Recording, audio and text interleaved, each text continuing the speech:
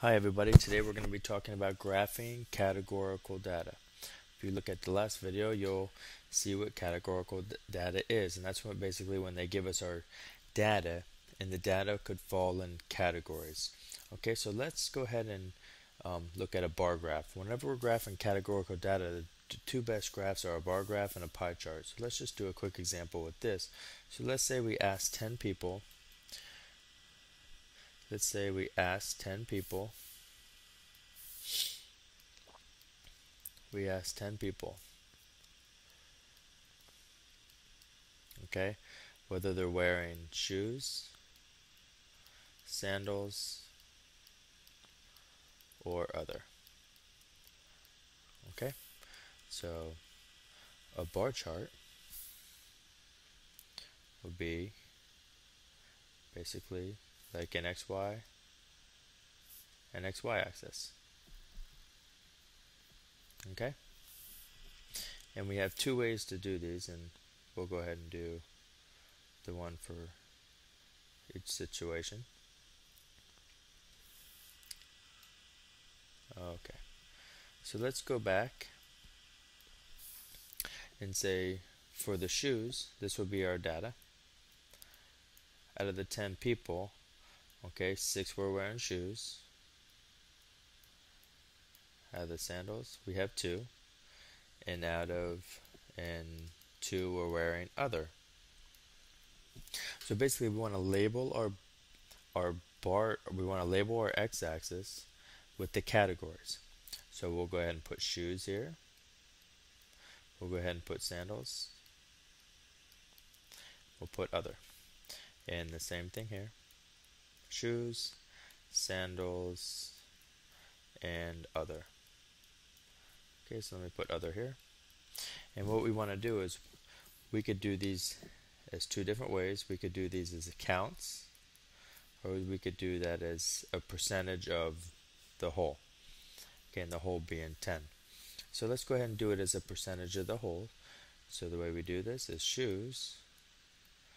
Okay, we had 6 out of the 10, which is just 0.6, or you could say 60%. So we'll go ahead and label this, and I'll put a color that I could see. This would be 50%.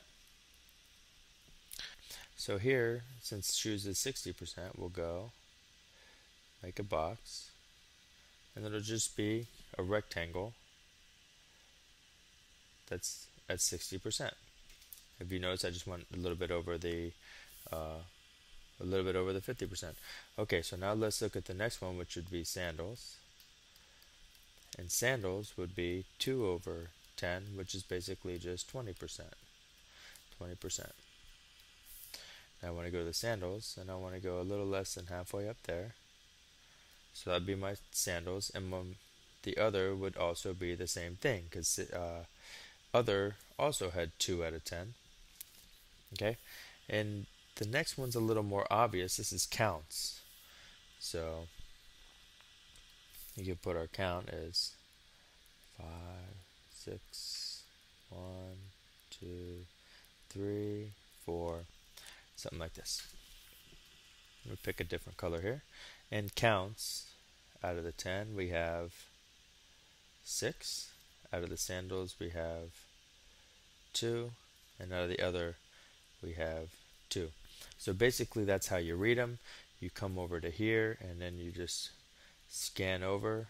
So that was 2 so I could have given you this counts and you would have known how many um, each uh, category had. So the sandal had 2 and then to get the percent you could have said 2 6, 2, and 2 would have been 10, and we could have easily made a percent graph.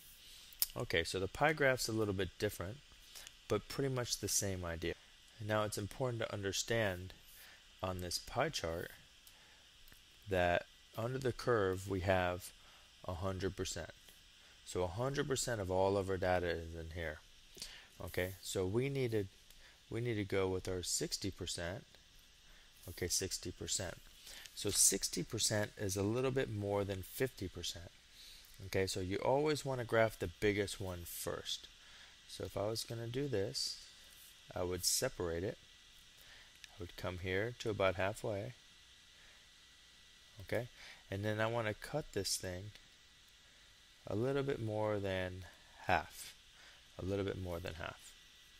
Okay, so this is going to be my shoes, which account for 60% of the whole. Okay, so what's left here? If there's 60% in here, the whole thing's 100%, so there's 40% left over here. So basically what I want to do is cut this section over here in half. Cut this section over here in half. Okay, the best of my ability. Let's look. That looks pretty close.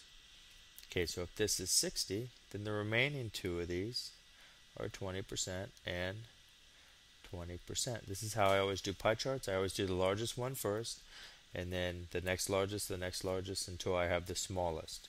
That's a great strategy to use when doing pie charts, when making them on your own. Okay, so my other two, my other two data points are the sandals, and the other 20% had other. Okay, which uh, now that I think about it, I'm not sure what other would be. Maybe 20% showed up barefoot. I don't know. I had a student one time tell me she looked at a college and they, when she went to observe a class, a lot of the kids in the class were barefoot, which is sort of strange, but uh, I guess it's a good thing that they're going and it sounded like a pretty good college. So, anyways, uh, thanks for listening and have a nice day.